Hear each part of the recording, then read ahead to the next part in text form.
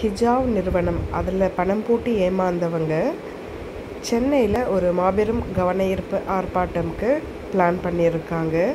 Already எப்போ அவங்க ஏமாற்றிட்டாங்கன்னு தெரிஞ்சதோ அந்த சமயத்தில் கடியாப்பட்டியில் இருக்க சாய்பாபா டெம்பிளில் நிறைய பேர் உட்காந்து இதே மாதிரி அமைதியான முறையில் போராட்டம் பண்ணாங்க.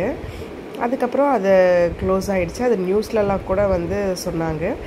இப்போது இருபத்தஞ்சாந்தேதி டிசம்பர் இருபத்தஞ்சாந்தேதி சென்னையில் ஒரு மாபெரும் கவன ஈர்ப்பு ஆர்ப்பாட்டம் பண்ண போகிறாங்க அதனோட இதுதான் நீங்கள் மேலே பார்க்குறீங்க லட்சக்கணக்கான பொதுமக்களை ஏமாற்றி பத்தாயிரம் கோடிக்கு மேல் மோசடி செய்த ஹிஜாவ் நிறுவனத்தை சேர்ந்த நிர்வாக இயக்குனர் தலைவர் போர்டு மெம்பர்ஸ் டைரக்டர்கள் உள்ளிட்ட இருபத்தி மூன்று பேர்களையும் உடனடியாக கைது செய்ய வலியுறுத்தியும் பொதுமக்களிடம் ஏமாற்றிய பணத்தில் வாங்கிய சொத்துக்களை பறிமுதல் செய்து ஏமாற்றப்பட்ட பொதுமக்களுக்கு இழப்பீடாக வழங்கக்கோரியும் மாபெரும் கவனயீர்ப்பு ஆர்ப்பாட்டம் வருகின்ற இருபத்தி ஐந்தாம் தேதி காலை பத்து மணிக்கு எழும்பூர் ராஜரத்தினம் ஸ்டேடியம் அருகில் நடைபெற இருப்பதால் பாதிக்கப்பட்ட பொதுமக்கள் அனைவரும் இந்த ஆர்ப்பாட்டத்தில் கலந்து கொள்ளுமாறு கேட்டுக்கொள்கிறோம்.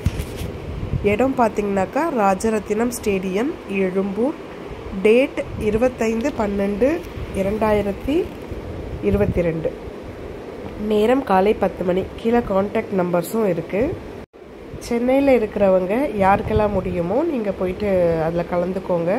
நீங்கள் அதில் படம் போட்டு ஏமாந்துருந்தீங்கன்னாக்கா. தேங்க்யூ